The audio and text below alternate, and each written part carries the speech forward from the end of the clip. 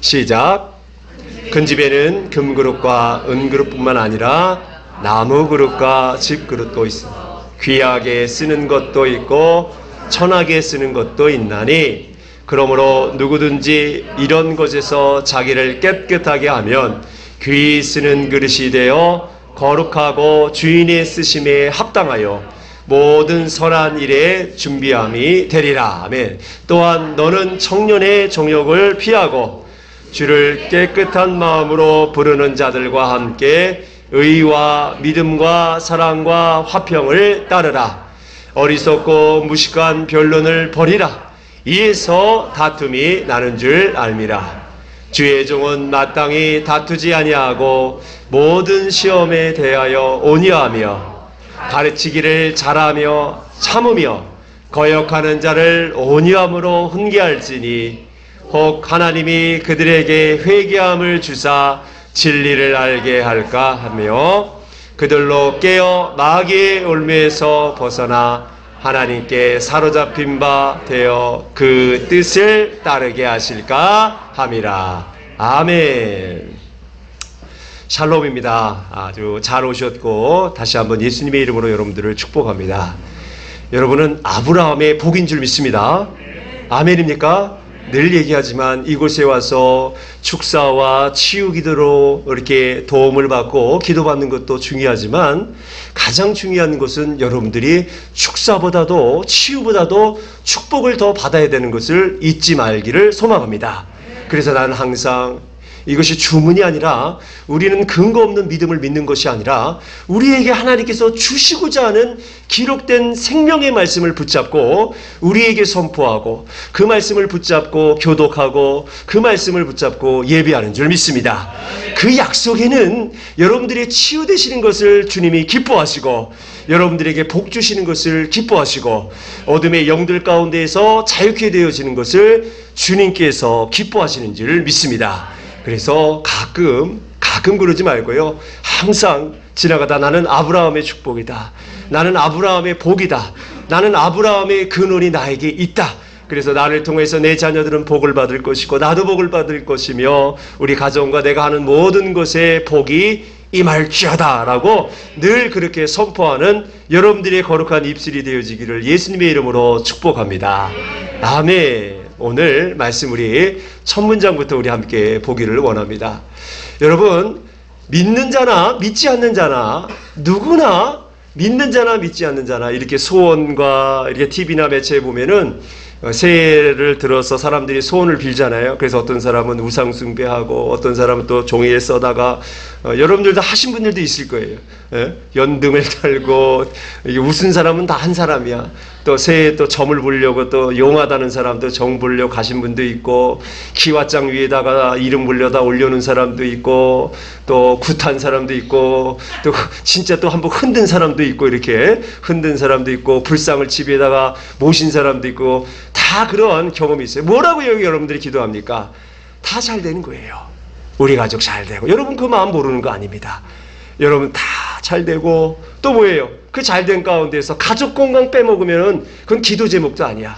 그렇죠? 또 내 자녀들 잘 되는 거, 돈 잘 버는 거, 건강한 거, 그 가운데 이제 가로 열고 내 남편 술 끊는 거, 그렇죠? 우리 아내 이제 홈쇼핑 그만하는 거, 나름대로 그런 거 다 있잖아요. 하나씩 다 있는 줄 믿습니다. 믿는 자나 믿지 않는 자들에게 칼빈은 이렇게 얘기했어요. 종교의 씨앗이 있기 때문에 인간은 누구에게 의지하려고 한다. 이게 하나님의 은혜입니다. 종교의 씨앗이 있는 거예요. 아버지를 누군가를 기대지 아니하면 누군가를 찾지 아니하면 본능적으로 죄를 짓지만 본능적으로 누군가를 의지하려고 하는 마음이 있는 것이 이것이 종교의 씨앗이고 이것이 칼빈이 얘기한 어, 그 어, 우리의 마음 가운데 그런 하나님을 찾고자 하는 신을 의지하고자 하는 마음이 있다라고 표현하는 것입니다. 그래서 하나님의 은혜가 있는 자들은 하나님을 만나는 것이고 하나님의 은혜가 없는 자들은 하나님의 때가 없어서 하나님의 은혜가 어, 하나님의 때는 때가 맞지 않는 사람들은 각각의 우상 숭배하는 자들로 이렇게 이렇게 표현되다가 아프고 병들고 힘들고 더 지치고 또 여러 가지 고통이 있기에 오늘 이 자리에 온 줄 믿습니다.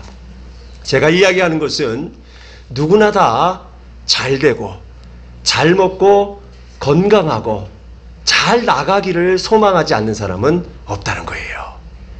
저도 마찬가지입니다. 제 자녀들 4명 앞서 얘기했지만 내 놈이 항상 머리를 들고 들이댑니다. 저녁에 잘 때마다 항상 축복해달라고. 그럼 저는 장난을 치죠. 아까 먼저 온 놈한테 축복을 다 줬다. 없다. 그러면 또 그 다음날 또 전략을 짜가지고 와서 머리를 붙잡고 이렇게 둘이 또 이렇게 되면 또 손을 또 끌어다가 지들 머리 위에다 올리고 이 경쟁입니다.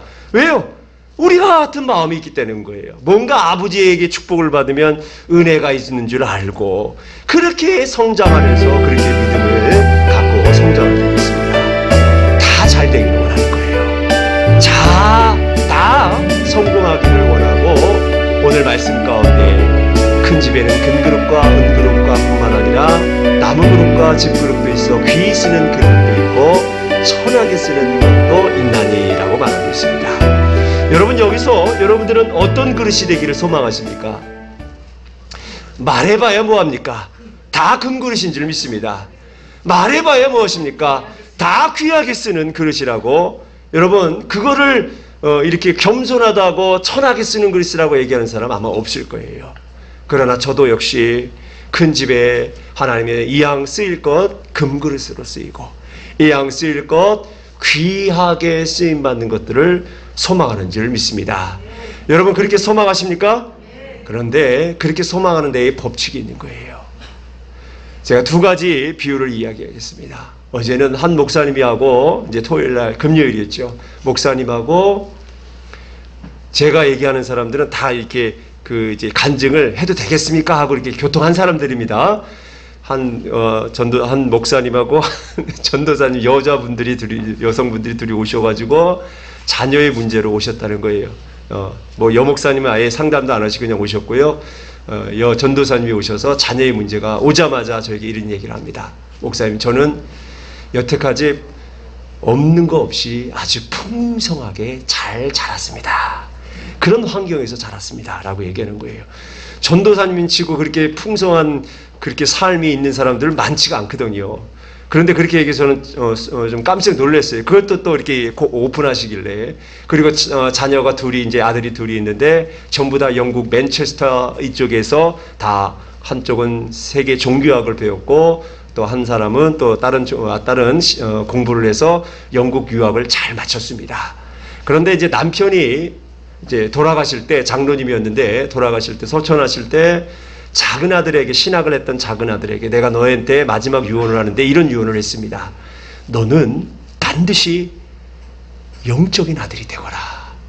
영적으로 깨어 있어서 기도하는 사람이 되거라. 라고 그렇게 아버지가 그렇게 아버지도 아마 훌륭한 사람이었을 거예요. 왜냐하면 아들이 그 정도의 어, 공부를 하고 있다면 분명히 부모님에게서 그런 것들을 어, 조금씩 어, 물려받기 때문에 아버지도 아마 그런 은혜 가운데 살았을 거예요. 그런데 왜 마지막에 더 공부를 해라, 더 열심히 해서 훌륭한 어, 그런 사람이 되라 그런 것은 아니고 특별하게도 어머니가 들었을 때 조금 이상한 예언이었다. 어머니가 들었을 때 조금 마음에 부딪히는 부딪히는 유언을 했다는 거예요. 영적인 사람이 되거라. 그럼 전도사님이 그런 거 들으면은 할렐루야, 아멘 나와야 되잖아요. 근데 그게 여기에 맺혔다는 거예요. 자, 들어보세요. 왜 맺혔는가? 그것이 이제 나옵니다. 첫 마디가 병신 같은 새끼가 그렇게 공부하고 여자를 얻어서 거지 같은 거 하나 데리고 와서 결혼했다는 거예요. 자, 왜 걸렸는지 아시겠죠? 병신 같은 새끼가. 하루 종일 제 앞에서 욕을 하는 거예요. 누구를? 아들을 욕하는 거예요. 하지 말라 그랬어요. 좀 참으세요. 제 마음은 알겠는데 그렇게 얘기하시면 안 돼요, 어머니. 근데 왜 아들이 병신 같은 짓 했는지 얘기해 보세요. 하려고 하다가 그 아들 어떤 일을 했길래 어머니 마음을 이렇게 상처를 줬습니까? 분노가 있습니까? 그 분노가 너무 세서 가슴에 있는 그 질병의 그 돌연변이 세포가 조직을 뚫었대요. 이 세포를 뚫고 근육을 뚫고 나왔대요. 그렇게 통증이 있다는 거예요. 그래서 그거를 가지고 치유받기를 오시는 건데 그걸 치유를 받아야 되는데 그것이 아들놈이 셨기 때문에 그렇게 됐다는 거예요. 그럼 도대체 아드님이 뭘 잘못했길래 영국에서 어떤 공부를 했길래 어떻게 어머니에게 불효를 했길래 그렇게 어머니 마음속에 어머니 안에 있는 그 분노가 세포를 뚫고 나왔습니까? 조직을 뚫고 나왔습니까? 얘기하는데 이혼한 이혼한 아 이제 이혼 에, 아내 아내 되는 며느리 되는 그 딸이 어 가정이 아버지가 이제 어머니가 이혼을 하셨대요. 이혼한 가정 그리고 쫄딱 망했다는 거예요. 쫄딱 망한 가정에 이혼한 가정이에요. 그러니까 마음에 안 드는 거예요. 마음에 안 들고 내 자녀가 공부시켰던 게 아까워 안 아까워요? 아깝죠. 아깝다는 거예요. 그리고 선교를 하는데 이제 러시아로 선교를 나갔는데 이분이 선교사예요. 선교사인데 러시아의 소수민족 러시아의 소수민족이라고 있어요. 러시아 사람처럼 생기지 않았어요. 한국 사람처럼 막 생겼어요.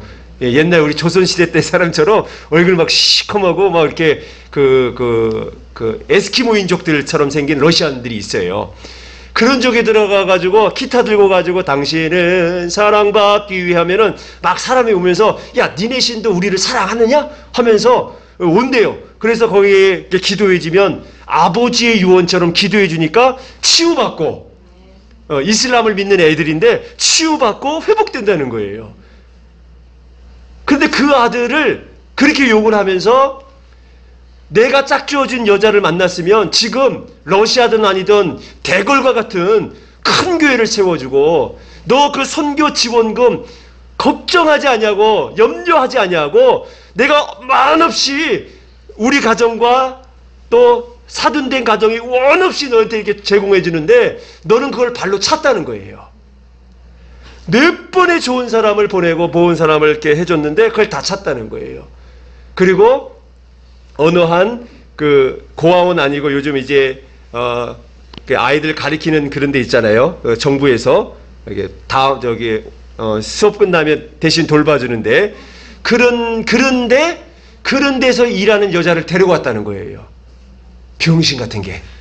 그러면서 재산을 하나도 안 주고 그, 그, 그 큰아들은 그래도 엄마 말을 들었나 봐요. 좀 돈 있는 사람하고 결혼해가지고 거기다 주는 거예요. 그러면서 형을 비교하고 그리고 자식을 셋을 낳대요. 아들이 셋이는데 없는 새끼가 애들만 줄줄 나가가지고 자기 고생이 너이 새끼야 너 클 때 너 큰 거하고 네 지금 자녀들 크는 거랑 비교해봐라.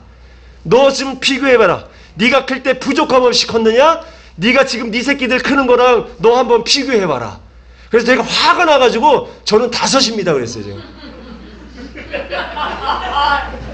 너무 특히 거북해가지고 저는 다섯입니다. 그러니까 눈이 이렇게 커가지고 더 이상 자식 새끼 얘기 안, 손주들 얘기 안 하더라고요.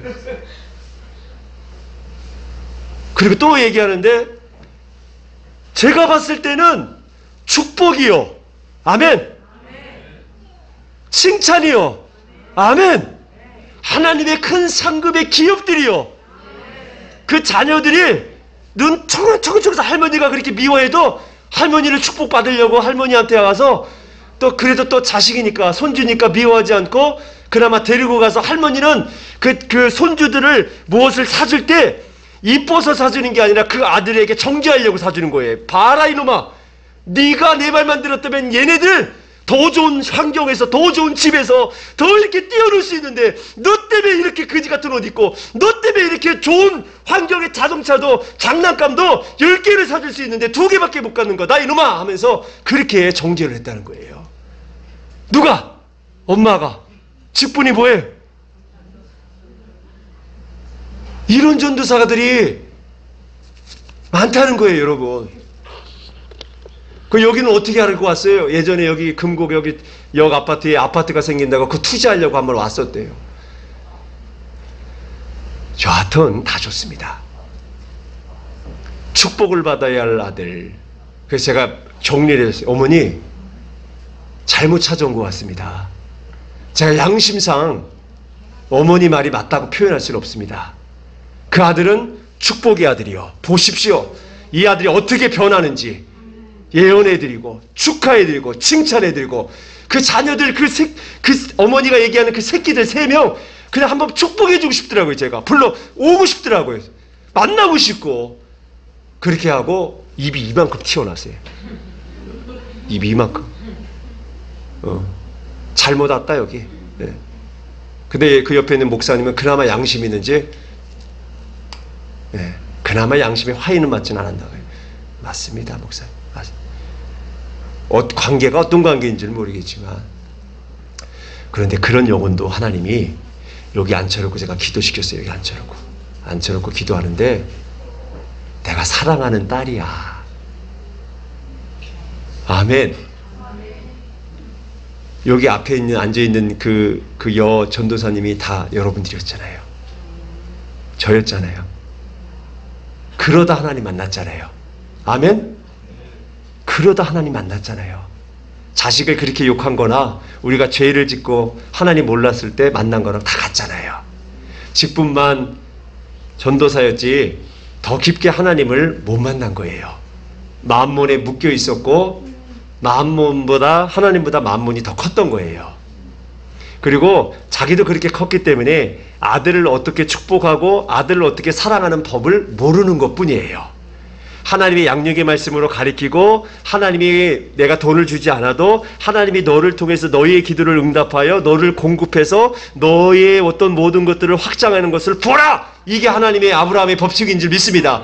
갈 길을 알지. 아무것도 눈에 보이는 거 없다 할지라도 하나님이 그렇게 보낼 때 하나님이 공급해 주는 것을 그걸 이, 이 어머니는 그렇게 잘하지 못했던 거예요. 전 그렇게 생각합니다. 아, 왜냐하면 하나님이 내가 사랑하는 딸이야 그래도. 그래서 네가 위로해주고 네가 고쳐줘. 그렇게 하지 않아도 그렇게 하지 않아도 네가 이렇게 힘쓰지 않아도 아들 잘 성장할 수 있다는 것을 가르쳐줘. 왜냐? 그 아들은 네 아들이기도 하지만 근원적인 것은 내 아들이기 때문에 하나님의 아들이기 때문에 하나님이 채워주시고 공급해주시고 위로해 주시는 것을 여러분 믿으십니까? 그렇게 축복해주고 그렇게 한 30분을 제가 위로했나 봐요. 그러더니 나온 입이 이만큼 슥 들어가고 눈물을 흘리시더라고요. 아버지 잘못했습니다. 아버지의 자녀인 줄 믿습니다. 예. 그리고 마음이 열려지고 이제 어떻게 또 아들을 축복했는지를 모르겠지만 아 하나님 정확하시다. 아니면 하나님이 야 아니야 보내 그랬으면 제가 보내실 거예요. 그냥 대충 기도하고 그냥 그래요 그래요 빨리 가십시오 이렇게 얘기했는데 하나님이 사랑하는 딸이야 라고 하니까 제가 거기에 엎드리는 수밖에 없는 거예요. 저도 엎드려야 돼요. 저도 그 말에 순종해야 돼요. 그래서 위로해주고 축복해주는데 그 삶이 그, 그 어머니가 만번에 너무 묶여 있어요. 이 돈에 완전히, 완전히 묶여 있어가지고 그렇게 축복을 해줘도 그 돈 때문에 하나님이 얘가 만몬에 이제 치료하시겠지만 돈에 묶여 있는 것들을 보여주더라고요. 제 눈으로 봐라 이제. 근데 가실 때 제 책을 보면서 제 책을 보면서 아 이거 한 권 사야 되겠군요. 한 권 사야 되겠군요 하면서 목사님은 제가 이제 뭐 이렇게 헌신 이제 뭐 이렇게 봉투에다가 이게 집어넣으셨어요. 그냥 이제 본인이 원했으니까. 그런데 그 자매님은요. 만 원짜리를 죄송해요. 시험 들지 마십시오. 그냥 그 보게 한 거를 보신 거예요. 만 원짜리를 주머니 5만 원짜리 모르겠어요. 주머니 이렇게 손을 딱 쥐고 헌금에다 들어갔다 이렇게 했어요. 그걸 제가 봤어요. 그거를.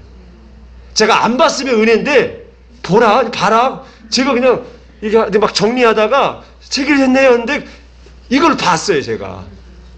아 진짜 자, 자, 자, 이제 잊어버리시고, 아, 진짜 만물에 매여 있는 사람이구나. 아, 돈이구나. 이 사람은 아들도 돈으로 보고 있고, 선교도 돈으로 보고 있고, 어, 하나님도 돈으로 보고 있구나. 한번 만지시겠다라는 마음이 들었어요. 어, 그러면 쫄딱 망하게 만들어 주시옵소. 그건 아닙니다. 청지기로서 잘 다스릴 수 있도록 하나님 그렇게 기도합니다. 하면 잘 다스릴 줄 믿습니다. 그쵸? 다 뺏기는 것보다 그게 낫잖아요. 자, 어쨌든. 그렇게 제가 봤을 때는 금그릇이요. 제가 봤을 때는 귀 쓰는 그릇인데, 어찌 어머니는 천한 그릇과, 어찌 어머님이 봤을 때는 그 입술처럼 그지 같은 그릇이었을까? 참 마음이 아팠습니다. 그럼에도 불구하고 하나님은 그렇게 얘기한 고백한 자매를 위로해 주시고 그리고 그렇게 기도했던 그렇게 행했던 그 아들을 축복하라는 마음이 들어서 제가 축복하며 아, 하나님의 큰 일을 그 아들에게 그 아들을 통해서 아버지의 유언대로 나타내겠구나라고 그렇게 기도하는 줄 믿습니다. 아멘입니까? 자, 그것이 이제 첫 번째 간증이었고요. 두 번째 간증 이제 마무리합니다. 이제 두 번째 간증은 이제 저에게 이제 어제 전화 온 저를 신학교를 보내고 그 다음에 그, 그 다음에 이제 석사도 공부시켜요. 제가 청소하다가 오늘 아침에도 청소하는 분들 제가 축복해 줬잖아요. 청소하다가 대학원 원장님이 저를 봐서 너 누군데 이렇게 매일 새벽마다 청소하냐 해서 해서 등록금을 다 이렇게 또 전화 오면서 야, 너 니네 교회 요즘 뭐 이렇게 북적북적 하다며? 그래서 아, 아니 목사님. 이제 저를 이제 시험하려고 하는 거예요. 테스트 하시려고. 어, 박사 준비하고 있어. 어, 너는 그게 꼭 필요해. 왜냐하면 이제 방해하고 시기하는 사람들 앞에서 정확하게 이런 것들을 표현하지 않으면 힘들어. 우리 협력사역자한테 늘 제가 그렇게 얘기하는 거예요. 어, 그러면서 저에게 박사 공부를 이제 추천하시고 이렇게 저렇게 저렇게 이렇게 보시면서 무엇을 얘기하냐면 잘해라 이 얘기를 하시는 거예요. 잘해야 돼 효원아. 잘해야 돼 서목사. 그 잘하단 말에 저는 마음에 확 들어왔어요. 여러분 어떻게 잘해야 돼요? 어떻게? 어머니의 실수는 잘 하려고 하는데 샘플이 달라는 거예요. 어머니는 샘플이 다른 거예요. 아버지의 샘플이 있고 우리의 샘플이 있는 거예요. 근데 이 어머니는 자기의 샘플, 만mon을 가지고 아들을 잣대를 비하고 선교를 빗다고 이 하나님의 사역을 빗댄 거예요. 그것이 틀린 거예요. 그럼 이 교수님이 저한테 이야기하는 것은 잘해라. 어떻게 잘해? 내 마음대로 잘해요? 내 뜻대로 잘해요? 어떻게 잘해야 돼요? 어떻게 잘해야 합니까? 아버지의 말씀대로 행하는 것이 잘하는 것인 줄 믿습니다. 그러면서 저에게 이런 가을을 열고 가로 닫고 어떨까 얘기하냐면 너 하나님이 이렇게 행하는 거 이렇게 이렇게 너 축사하고 기도하는 거 이렇게 다 볼 거야. 그렇게 얘기하는 거예요. 다 보신다는 거예요. 처음에 너를 기름 붓고 이런 이런 팬데믹 사이에 어, 너를 이렇게 특별하게 불러와서 은혜 주시고 이렇게 치유하는 이런 가운데 너를 불렀지만 네가 행하는 이런 가운데서 네가 행하는 말, 네가 행하는 설교, 네가 행하는 모든 퍼포먼스를 하나님이 보신다는 거예요. 아멘. 왜 봅니까? 내가 내 뜻에서 이런 일들을 행하는지 아니면 아버지의 뜻대로 행하는지 주님이 계속해서 중간 점검을 하신다는 거예요. 그리고 그 중간 점검을 할 때 근거는 무엇이냐면 바로 나와 여러분들이 그렇게 원하는 금그릇, 그렇게 귀 쓰임 받으려고 하는 그 근원이 뭐냐면, 그러므로, 자, 있습니다. 시작. 그러므로, 이 누구든지 이런 것에서 자기를 깨끗하게 하면 귀 쓰는 그릇이 되어 거룩하고 주인의 쓰임에 합당하며 모든 선한 일에 준비함이 되리라. 아멘. 우리를 깨끗하게 해야만이 선택을 받을 수 있고 오늘 말씀 하전 전에 준비될 수 있고 또 깨끗하고 거룩해야 하마니 우리가 계속해서 이런 일들 하나님께서 중간에 공급해주고 떨어져 나가도 또 공급해주고 또 떨어져 나가도 또 공급해줘도 또 넘어져도 또 공급해주고 우겨쌈을 쌓아도 하나님이 공급해주고 문 닫을 때 우리는 문을 열게 하시고 아멘 남들이 폭풍 때문에 다 배를 뺄 때 우리는 그 안에 그 어떤 퍼펙트 스톰이 온다 할지라도 우리는 그 배를 타고 들어가게 하시고 만선으로 하나님이 이끄시는 줄 믿습니다. 그 근거가 무엇이냐면 늘 얘기합니다. 누구든지 그렇게 되길 금그릇처럼 되기를 소망하는 자들은 자기를 깨끗하게 해야만이 금그릇이 될 수 있는 것입니다. 그런데 금그릇이 되고 내 마음을 깨끗하게 하려고 하면 어떤 철학도 아니요 어떤 도덕도 아니요 어떤 윤리도 아닌 여호와의 말씀인 줄 믿습니다. 그래서 시편 119편을 여러분 날마다 읽으시기를 원합니다. 시편 119편은 하나님의 율례, 하나님의 도, 하나님의 규례, 하나님의 은혜, 하나님의 율법, 하나님의 놀라우신 말씀, 하나님의 모든 일들을 행함 한 절 한 절 읽을 때마다 거기에 다 시편 119편은 아주 놀랍습니다. 하나님의 말씀을 빼본 적이 없어요.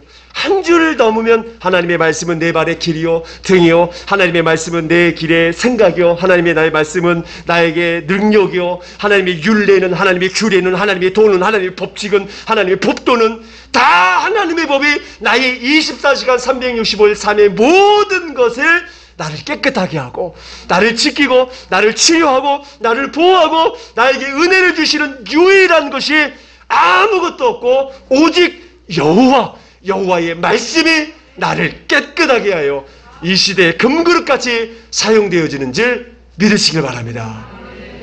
강요가 아닙니다, 여러분. 오직 하나님의 말씀이 여러분을 깨끗하게 하고 귀 쓰는 그릇이 될 수 있는 줄 믿습니다. 그래서 그 목사님이 너 사역 6시간 하면 2시간은 엎드리고 10시간을 하면 3시간을 엎드리고 24시간이면 5시간 이상을 엎드려야 된다는 것을 얘기하는 거예요. 맞아요. 제가 여러분, 여러분들 사역만 끝나는 것이 아니에요. 끝나면 또 전화 사역이 있고, 아시, 아시는 분들은 다 압니다. 구독 성도가 어제 하나님의 은혜로 3만 명이, 하루에 150명씩 들어요. 150명씩 153만 명 중에서 저에게 전화하려고 하는 것이 3만 명 다는 아니겠지만 거기에 10%만 해도 거기에 0.1%만 돼도 저는 하루에 전화를 몇 번을 받았는지 여러분 계산이 나오잖아요. 네. 이런 가운데에서 정말 이렇게 한 사람씩 한 사람씩 어떤 사람은 전화를 못 받아서 제가 미안한 사람이 있고 정말 마음 아픈 사람이 있지만 그럼에도 처음 처음 전화한 사람들을 위주로 해서 그런 사람들 줄 세우면 두 번, 세 번 전화한 사람은 1년 후에나 받아야 돼요. 그럴 정도로, 그럴 정도로 하나님께서 은혜를 주시고 여기에다가 아픈 자, 병든 자를 집어넣으시는 거예요. 왜냐? 제가 준비됐다는 것이 아니라, 여러분, 제가 준비됐다는 것이 아니라 첫 번째는 하나님의 은혜요. 두 번째는 그래도 그 말씀 가운데 서기 위해서 여러분들에게 말씀을 가르치고 제 기도 제목 다 보세요. 하나님 말씀 왜 있나? 다 보세요 여러분. 하나님 말씀 외에는 없습니다. 처음에는 제 말로 제 명령으로 이렇게 했지만 점점 점점 점 줄여드리면서 하나님이 저를 코너에 보내시는 거예요. 네 뜻대로 안 될걸? 차라리 말씀을 찾아가지고 치유의 말씀을 정리해서 올려라. 그러니까 사람들이 그 치유의 말씀, 말씀이 사람을 깨끗하게 하고, 말씀이 나를 변화시키고, 말씀이 나를 보호하시는 것을 느끼기 때문에 하나님이 하루에 100명, 200명이라도 그렇게 보내시고 은혜 주시는 줄 믿습니다. 그러면서 여러분 그러면서 여러분들이 오늘 우리 협력 사역자들을 다 불렀어요. 은사 다 존중한다. 저보다도 더 예언이 저보다도 상담을 더 잘하시는 분, 저보다도 영적으로 더 민감하신 분들이 있고, 저보다도 더 치유의 축사가 있는 분들도 있고, 제가 말은 안 하지만 우리 협력사들을 통하여서 치유받았다는 사람들도 많습니다. 왜냐? 말을 왜 안 해? 오늘 공개 왜? 교만해질까봐. 예. 저도 마찬가지였습니다. 찬양할 때 교만해질 수 있고 저는 찬양할 때 죽을 뻔했어요 여러분. 저도 여기 기타가 있잖아요. 제가 왜 기타를 안 만지지 않았어요? 기타를 몇 헤비 메탈급 정도는 아니지만 그래도 스스로 하나님이 지혜를 주셔서 누구를 가리실 정도는 됩니다.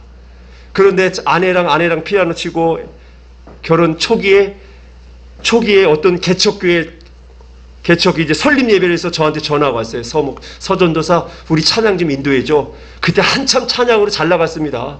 찬양으로 우리 아내 반주하고 저하고 찬양하고 얼마나 그때 목소리가 더 컸어요. 우리, 우리 신집사님보다 더 컸어요, 제가. 마이크 없이도 막 했어요. 근데 거기 미쳐 가지고 미칠 수 있어요. 찬양 인도를 하는데 뒤에 이제 설립 목사님들 쫙 앉아 있을 거 아니에요. 됐다라고 저한테 등을 두들겼어요. 그만해, 이제. 어. 예식 시작해야 되니까.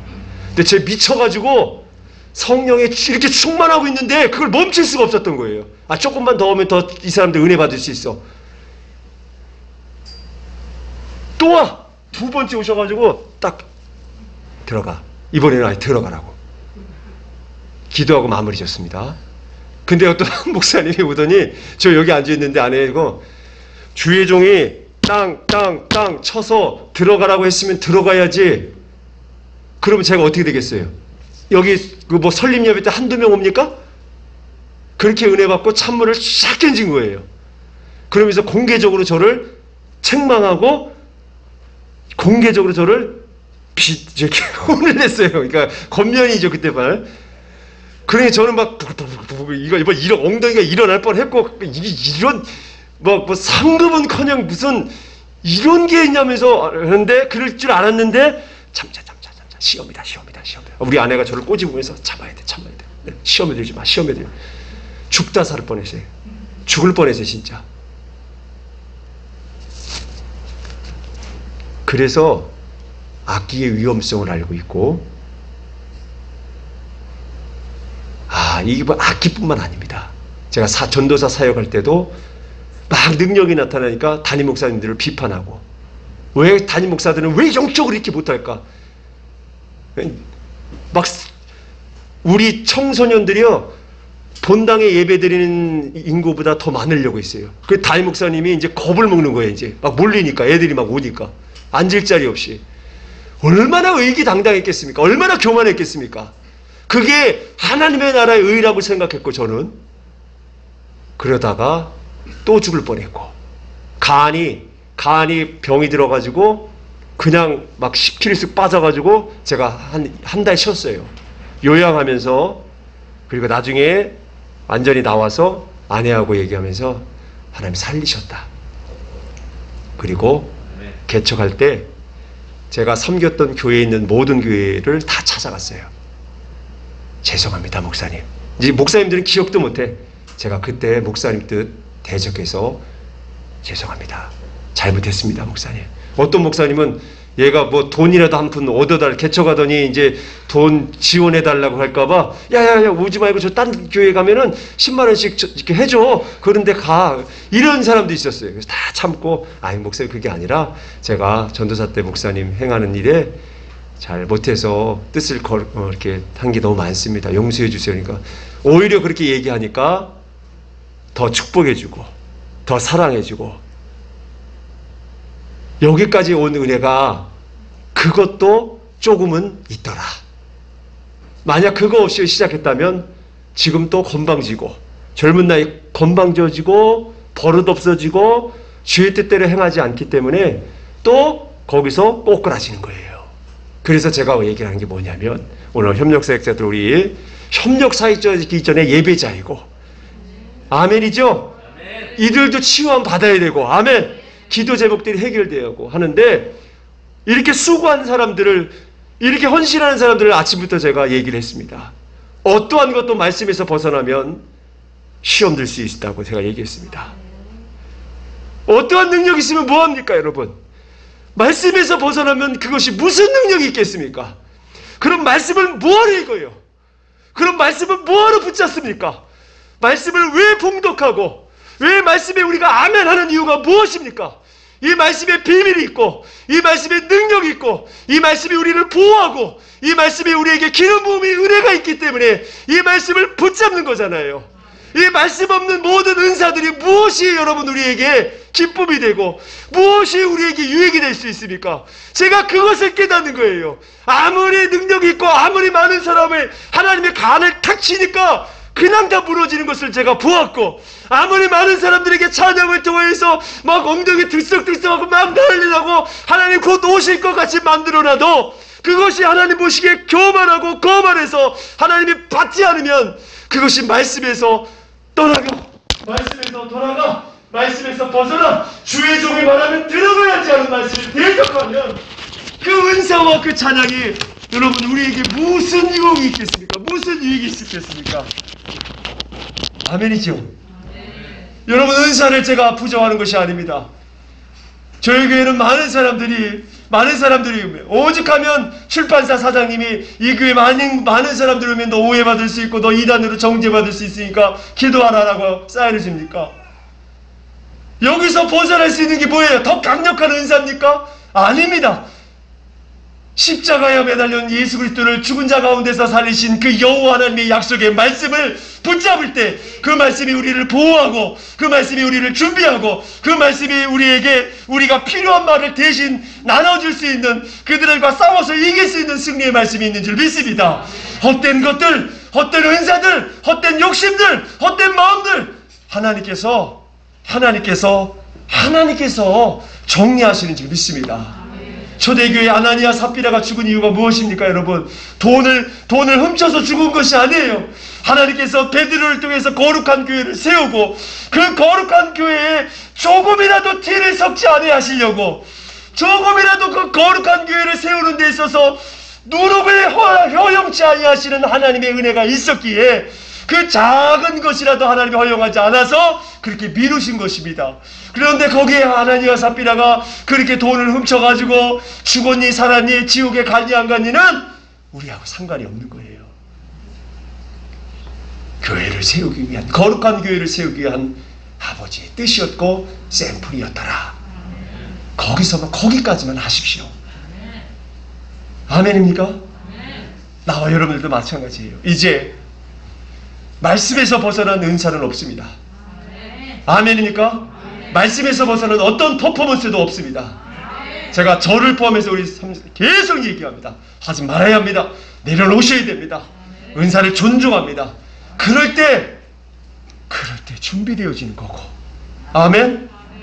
내 거를 내려놓는 것이 아니라 하나님 것으로, 하나님 것으로 더 드러내고, 더 하나님의 뜻대로 하면 어떤 치유든 어떤 내용이든 오직 나사렛 예수 그리스도의 이름 앞에 완전히 결벽되어지고 완전히 치료되어지고 완전히 회복되어지는 은혜가 있는 줄 믿습니다. 아멘. 그래서 여러분 말씀을 끊임없이 붙잡고 아멘. 말씀에서 벗어나지 마시고 하나님이 여러분을 징계한다 생각하지 마시고 오늘 시편 119편을 아침에 읽으면서 이런 얘기하면서 하나님의 징계하심이 하나님의 징계하심이 선하시다. 왜냐? 그분은 신실하시기 때문에 우리를 죽이려고 이렇게 고통을 주는 것이 아니라 그분의 신실하심을 나타내는 거예요. 그분의 신실하심으로 우리를 간섭하지 아니하면 우리는 벌써 죽었고 우리는 벌써 심판대에 나왔고 우리는 벌써 죄악 가운데 그런 죽을 수밖에 없는 더 추악한 죄인이 될 수밖에 없는 것입니다. 그래서 여호와의 열심히 시편 119편에 여호와의 간섭하심과 여호와의 행하심이 여호와의 그 징계가 하나님의 선하심이다. 하나님의 신실하심이다라고 표현할 수가 있는 것입니다. 아멘. 여러분 다시 한번 여러분들에게 간곡 부탁합니다. 말씀을 주야로 묵상하십시오. 아멘입니까? 할 수만 있다면 말씀을 읽으시고 할 수만 있다면 아멘 말씀하시고 하나님과 교제하는 시간을 더욱더 늘려서 이 말씀이 여러분들을 이 마지막 때에 이제 여러분 치유받는 것에서 끝나는 것이 아닙니다. 우리 교회 성도들은 다 귀신을 쫓을 수 있어요. 귀신을 잡는 것이 아니라 이 용어부터 정리해야 돼. 귀신을 잡는 것, 귀신은 잡히지 않아요, 여러분. 귀신은 내어 쫓으면 그만인 줄 믿습니다. 다 우리 성도는 우리 성도님들은 다 쫓을 수 있어요. 주의 종이 하니까 우리 아이들도 그래. 우리 아이들도 아빠 한냥 따라가 하면서 막 그렇게 막 흉내 내기도 하고 어린 적부터 이렇게 훈련 받잖아요. 다 여기서 치유 안 받는 것에서 끝나는 것이 아니라 더욱더 여러분들이 귀에 쓰는 그릇이 되기를 소망하며 준비되어 말씀으로 준비되어서 이제 우리 교회는 선교할 것이고 고아와 가부를 먹이는 교회가 될 것이고 그리고 서로 통용한 것으로 세우는 교회가 될 것이고 이스라엘을 헌신하며 이스라엘을 세우고 이스라엘을 위해서 기도하며 더 나아가 이제 세계 최초로 세계 최초입니다. 영적 질병과 육적 질병 어, 이런 질병을 이 안에서 구별되게 하셔서 세계 최초로 의사와 목사가 하나 되어서 병든 자를 그 즉시 아 얘는 빨리 치료해야 돼. 이거는 약이야. 아 얘는 기도야. 이거를 분별할 수 있는 센터를 설립하는데 이 교회에 설립의 은혜가 있는 줄 믿습니다. 그래서 벌써부터 하나님께서 귀 쓰는 그릇을 위해서 훌륭한 또 훌륭한 의사 선생님도 보내시고 훌륭한 또 상담 선생님도 이곳에 준비되어지고 있고 저는 그것이 은혜 하나님이 그 일들을 행하실 것이라고 저는 기대하며 기도하고 있습니다. 여러분 어디 목사들한테 가 목사님한테 가보세요. 아 영적 질병이야. 자기도 아프면 약을 먹으면서 약 먹지 마. 자기도 성도님들이 좋은 거 다 먹으면서 좋은 거 다 먹으면서 기도해 기도하면 끝나는 거야 금식해 자기는 금식하면서 기도 안 했으면서 왜 병든 자들을 또 물론 기도해서 금식이 필요하면 금식이 필요하지만 그렇게 이제 하, 그렇게 진단하지 않겠다는 거예요 아 이 사람은 빨리 빨리 가서 저기 가서 수술 받으면 끝날 일이야 아 이 사람은 가정 대대로 흘렸던 영적 고통이 있으니까 상담과 정신적 치유와 예 목사님의 기도가 같이 필요한 사람이야. 이렇게 빨리 구별해지면 이거를 지지 끌지 아니하고 빨리 해결되어지는 은혜가 있는 줄 믿습니다. 이게 세계 최초라는 거예요. 그래서 작게라도 작게라도 그렇게 기도하고 준비할 거니까 여러분 기도해 주셔서 정말 하나님께서 하나님께서 이 기회를 통하시는지 사용하시는지 여러분 기도하시고 사용받기를 원할 때 준비하기를 원할 때 오늘 오늘 우리에게 말하는 것은 누구든지 이런 것에서 자기를 깨끗하게 하면 그보다도 더 크신 하나님의 계획을 나타내시는 줄 믿습니다. 기도하겠습니다. 아버지 감사합니다. 고맙습니다. 우리에게 놀라우신 은혜 가운데 이 생명의 말씀 늘 얘기해도 늘 고백해도 아버지 하나님 이것이 늘 우리에게 필요한 것이고 우리에게 늘 생명인 것을 다시 한번 가르쳐 주심을 감사합니다. 아버지 오늘 여기 하나님의 이 질병 때문에 고통 때문에 이, 이곳에 참석한 모든 하나님의 자녀들을 이 말씀 가운데 우리에게 보호하시고 치유하시고 깨끗하게 자유케 되게 또 아버지 하나님 우리에게 그런 약속을 주셨사오매 그 약속의 말씀을 이제 믿고 더 확신하며 아멘이라 고백할 때 그 근거가 우리 생각의 근거가 아니라 여호와 하나님의 말씀의 근거의 말씀으로 기도하며 아멘할 때 너희의 믿음대로 될지어다. 이 말씀의 음성이 우리 모두에게 들어지는 역사가 있게 하여 주옵소서. 감사하며 축복하며 우리 주 예수 그리스도의 이름으로 기도하옵나이다. 아멘. 찬송가 370장입니다.